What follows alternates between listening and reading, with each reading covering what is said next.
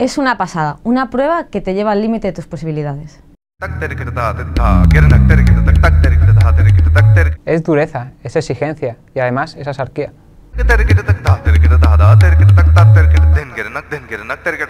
Acabar primera después de tanto esfuerzo fue muy gratificante. Me sentí muy orgullosa de mí misma. Sensaciones muchas, sufrimiento, superación, pero se disfruta.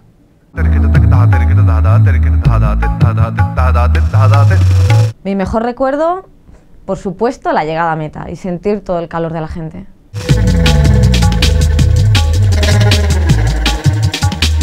Mi peor recuerdo cuando mi cuerpo llegó al límite y creía que no llegaría a meta.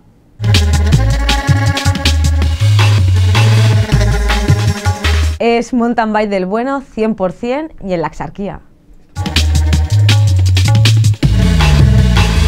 Por supuesto, no me lo pierdo y nos vemos en el desafío del Buda el 10 de abril. Allí nos vemos.